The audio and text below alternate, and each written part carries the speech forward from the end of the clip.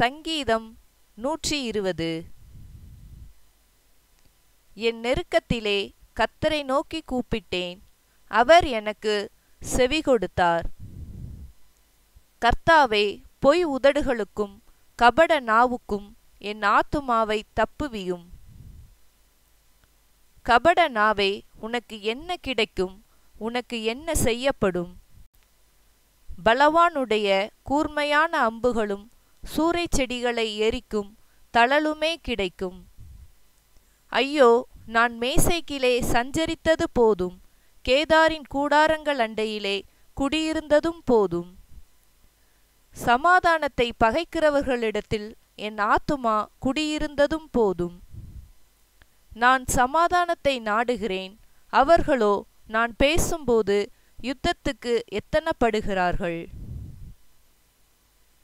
Amen.